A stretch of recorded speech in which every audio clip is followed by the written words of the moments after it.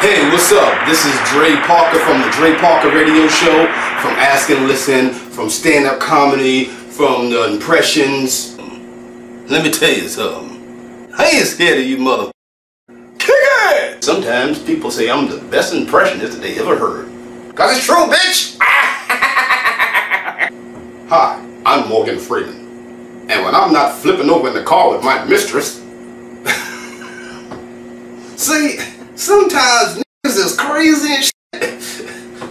See, I don't know why mother do some crazy shit and things is crazy and shit and and shit and shit. Hey, I'm hey hey. oh! Coming to you live below Linden Plaza and between the pink houses. Yes, yes. The Dre Parker Show. I don't know, Chief. I'm still looking for my biological father. He should be around here somewhere.